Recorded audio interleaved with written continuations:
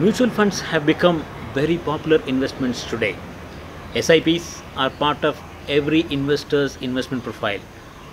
All is well as long as the markets are going up and their investments are showing positive returns. While The sad fact is that the markets are not always up. It's down at times and also flat for a longer period. such conditions bring worries into people who have recently entered the market. When newspaper or media put out news about bloodbath in the market, it becomes really scary. People invest their hard-earned money into the market with expectation that it will grow. Instead of that, when they see it going down, confusion arises in their mind on what should I do? Should I exit the market and get in later?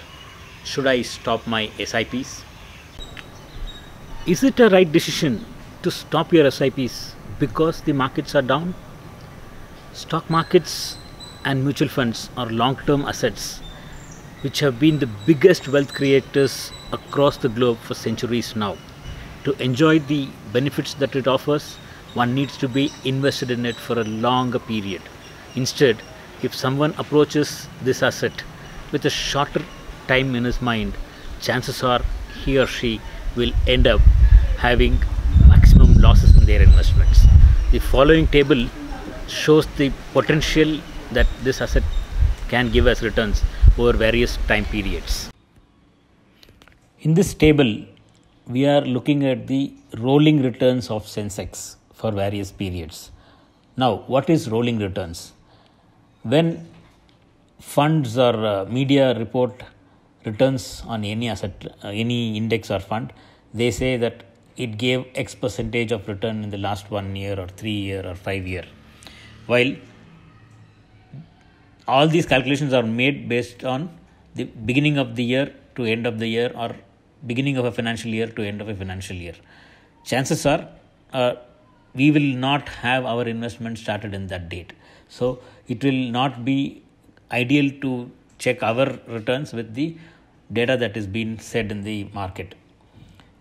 So rolling returns, what it helps us do is whatever date we invest, from that date, if I have been invested for one or two or five years or seven years, what can I expect from the market? That is what this table shows.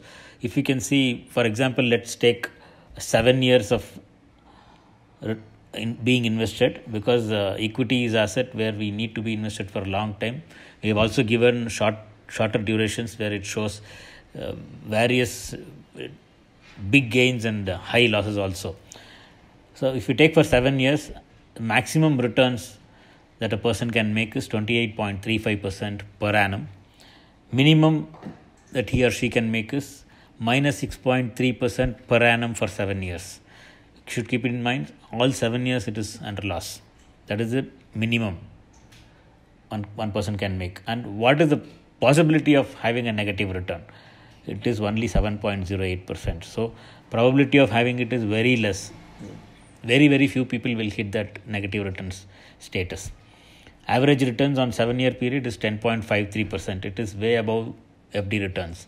Many investors, when they take their SIPs, they are happy as long as it is doing well. When it starts going down, like what we are having now in the market, they ask questions to themselves Have I made a mistake?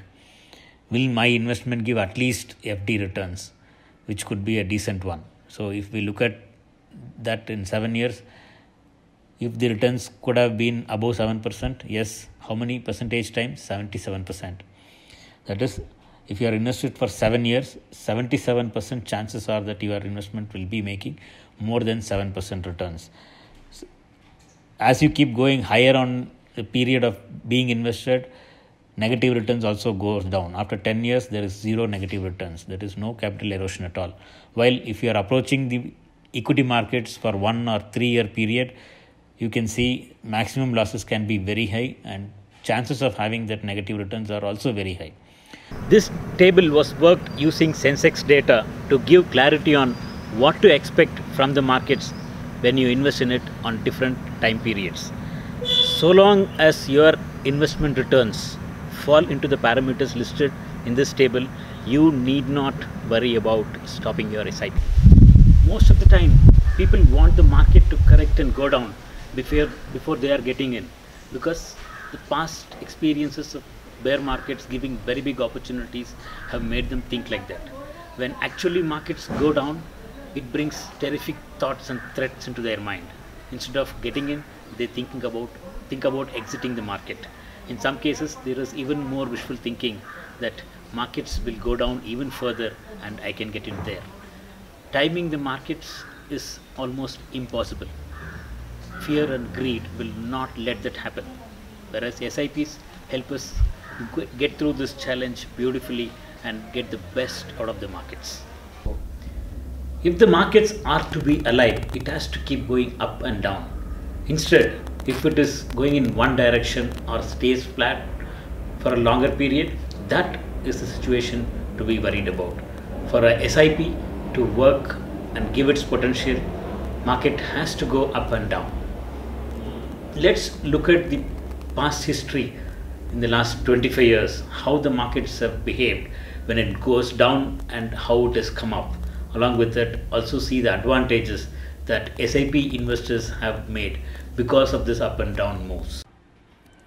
In 1992, we had the Harshad Mehta scam, where the Sensex plunged 54% from its peak over a period of one year, and from there, in the next 18 months, it went up 127%. In 1996, post GDR outbursts took the markets down by 40%, and this down phase lasted for four years. After that, in one year period, it went up 115%. In 2000, Ketan bubble bust gave a hit of 56%, which lasted for 18 months. After that, in the next 30 months, market goes up 138%.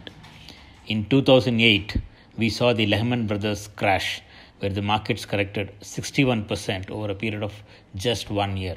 In the next 18 months, it went up the highest, 157%.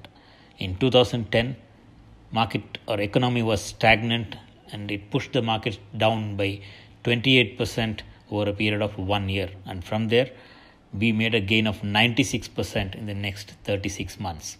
In 2015, we had the Volkswagen scandal and the Chinese market crash, taking our market down by 23% over a period of again 12 months. And after that, next 24 months, we saw 73% gains. Now, in 2018, we have the ILFS crisis. Markets are correcting.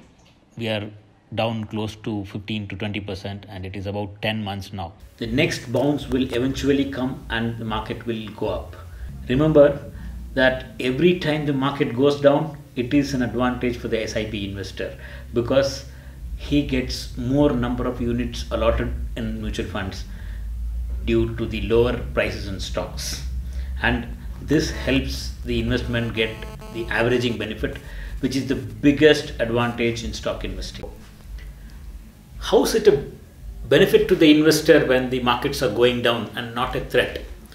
Let's talk this example with uh, one of the favorite products of human beings, gold. In 2002, price of gold per gram was rupees 500. Today, all of us know it is close to 3000 rupees. What is the chance that gold can come back to 500 or even lower? absolutely zero, right? While when it made its journey from 500 to 3000, it did not go up in a straight line. It went up some level, paused, get into a correction, then went up little more, reaching for higher highs. The same way markets too work. It goes up, corrects, and goes up again to a newer high. So need not worry when market goes down, it will again get back we have we have seen five to six examples of when how the markets corrected in the previous past let's see how a sip investor would have been at advantage in these periods that is the last 25 years if someone had done just rupees 1000 as sip into the sensex what would be his return now we will also run a comparison with a similar amount done in rd which is growing at say 9%. This comparison is to show the advantage that SIP has as well as the same advantage against RD and Sensex if there is a bulk investment. From 1994 till today, it is close to 25 years or 298 months of investing, and the amount that would have been invested will be 2.98 lakhs. On 10th of October 2018, value of RD investment is 11.03 lakhs, which has grown at 9% per annum. While with the SIPs, value of investment is 15.53 lakhs, which has grown at 11.03%. In this 25 years, if there was a bulk investment into Sensex, that has given 9.52%. You can see the difference of returns between bulk investment into Sensex and the same as SIP into Sensex again. We see that it is around 1.5% more through SIPs, and the same can be expected continuously through SIPs in the market. We generally have between 1.2 to 1.5% added advantage using SIPs.